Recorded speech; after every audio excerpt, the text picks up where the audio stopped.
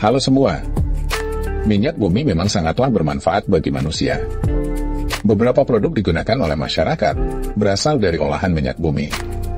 Minyak bumi terdapat di bawah lapisan bumi baik di darat maupun di bawah laut. Minyak bumi kebanyakan membutuhkan berbagai macam alat berat untuk proses penggaliannya. Jika berhasil, maka tahapan selanjutnya adalah proses pengolahan yang menghasilkan berbagai manfaat yang berbeda. Berikut ini, proses singkat pengeboran minyak dan gas di bawah laut. Pertama kali minyak ditemukan oleh bangsa Cina pada tahun 347 setelah Masehi. Hanya bermodalkan bambu, bangsa Cina mampu mengebor hingga kedalaman lebih dari 243 meter dan mendapatkan minyak untuk pertamanya. Sedangkan untuk Amerika, berhasil membangun pengeboran minyak dan gas, pertamanya di Ontario, Kanada pada tahun 1858. Kemudian di tahun 1920 hingga 1940, perkembangan dunia minyak dan gas mengalami kemajuan yang sangat pesat. Kemudian dimulai pengeboran offshore lepas pantai pada tahun 1981. Sumur migas offshore pertama dengan bentuk horizontal, dan berkembang terus sampai sekarang. Minyak bumi dihasilkan dari hewan dan tumbuhan sudah mati, yang terkubur di lapisan pasir dan bebatuan. Setelah terjadi penguraian, minyak bumi bergerak lewat batuan perpori, terakumulasi di lapisan batuan keras, hingga menjadi sumbernya minyak bumi. Dalam mencari lokasi ini, banyak cara dapat digunakan. Cara-caranya antara lain, dengan melihat bebatuan yang tersingkap di permukaan bumi, yaitu dengan membuat peta geologi, dan mengekstrapolasi permukaan bebatuan tersebut. Cara tersebut dapat mengetahui kondisi struktur dan susunan batu yang ada di lapisan bawah permukaan batuan. Seiring berkembangnya zaman, cara-cara yang sering digunakan dalam mencari minyak bumi dan gas adalah melalui survei seismik.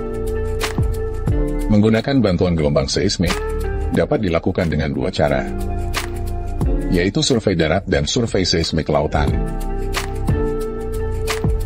Untuk proses survei seismik di daratan, dapat menggunakan bantuan vibrosistroke ke lokasi yang telah ditentukan. Beberapa waktu yang lalu kendaraan dengan bobot mencapai 27 ton terlihat melintasi beberapa di jalan kawasan Indonesia. Untuk cara kerja dari vibrator truk ini adalah dengan menembakkan gelombang seismik ke dalam tanah, dan biasanya terdapat tiga vibrator truk atau lebih. Proses penembakan gelombang seismik tersebut kemudian dipantulkan kembali sesuai dengan lapisan tanah yang dilaluinya. Pantulan gelombang berjalan pada kecepatan berbeda, tergantung pada jenis atau kepadatan lapisan batuan yang dilaluinya. Di atas tanah, pantulan gelombang ditangkap oleh geopon. Geopon ditancapkan ke dalam tanah sedalam 30 cm secara manual, terhubung satu sama lain dengan kabel yang jumlahnya sangat banyak. Lalu data dari geopon tersebut ditransmisikan ke recording truk untuk direkam. Data jenis dan lapisan batuan akan diolah dan dianalisa untuk mengetahui keberadaan minyak bumi dan gas alam di dalamnya. Sedangkan untuk survei seismik di laut, pada prinsipnya ini hampir mirip dengan di daratan. Namun untuk di lautan survei seismik dilakukan dengan menggunakan kapal seismik khusus. Untuk prosesnya, gelombang seismik ditembakkan ke dasar laut melalui alat yang dipasang di belakang kapal. Pantulan dari gelombang seismik ini kemudian diterima dan direkam oleh receiver, seismic streamer. Seismic streamer ini dipasang di belakang kapal yang di dalamnya berisi hidrofon.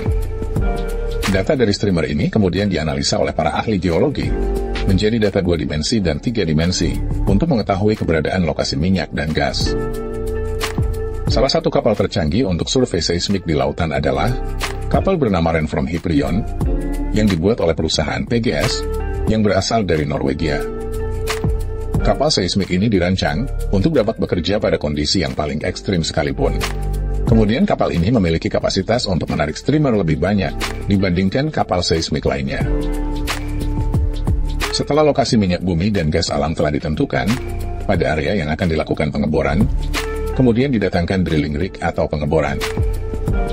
Untuk rig di darat dan di laut memiliki bentuk yang berbeda.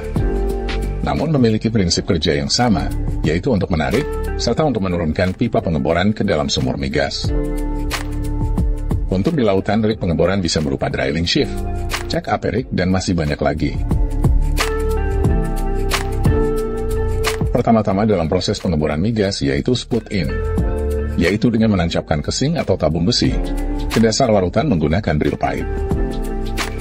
Setelah kesing tertancap pada kedalaman yang telah ditentukan, drill pipe kemudian dilepaskan, setelah itu drill bit akan dimasukkan ke dalam kesing tersebut. Drill bit kemudian mulai menggali ke dasar laut. Drill bit ini terhubung dengan drill pipe.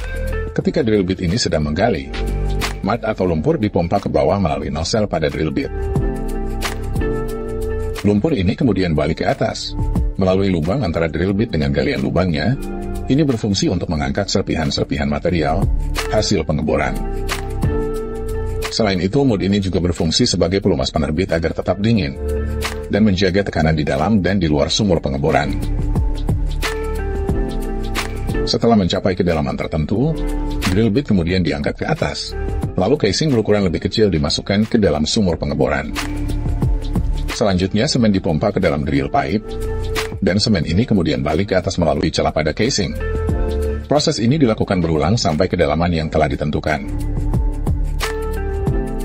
Semen yang dimasukkan ini agar struktur sumur pengeboran kuat dan tidak mudah runtuh saat dilanjutkan untuk pengeboran kembali. Semakin dalam pengeboran, maka tekanan di dalam bumi juga semakin tinggi. Untuk itulah sebuah blowout, preventar atau disebut BOP, dipasang di atas kepala sumur. BOP merupakan sebuah struktur yang terdiri dari katup-katup besar, yang berfungsi untuk mengontrol dan memantau sumur, dari semburan minyak mentah, atau gas alam yang tidak terkendali. Pada BOP ini terdapat pipa yang disebut dengan riser. Riser ini menghubungkan antara rig dan sumur melalui BOP. Setelah BOP mulai terpasang, proses pengeboran dilanjutkan kembali dengan memasukkan drill bit ke dalam sumur melalui pipa riser. Saat pengeboran migas, arah pengeboran tidak selamanya vertikal. Terkadang pengeboran horizontal perlu dilakukan jika reservoir migas berbentuk tipis tetapi luas.